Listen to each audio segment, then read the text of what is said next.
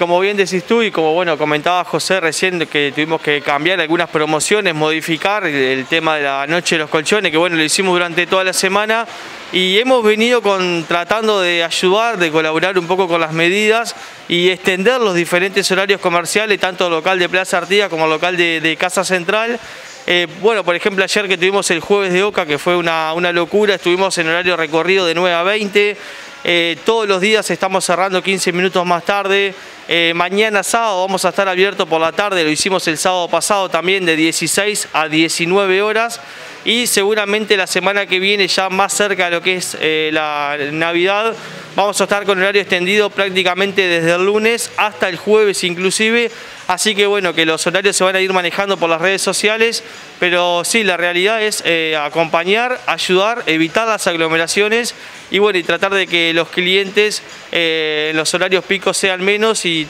que tengan más tiempo a la hora de, poder comprar el regalo.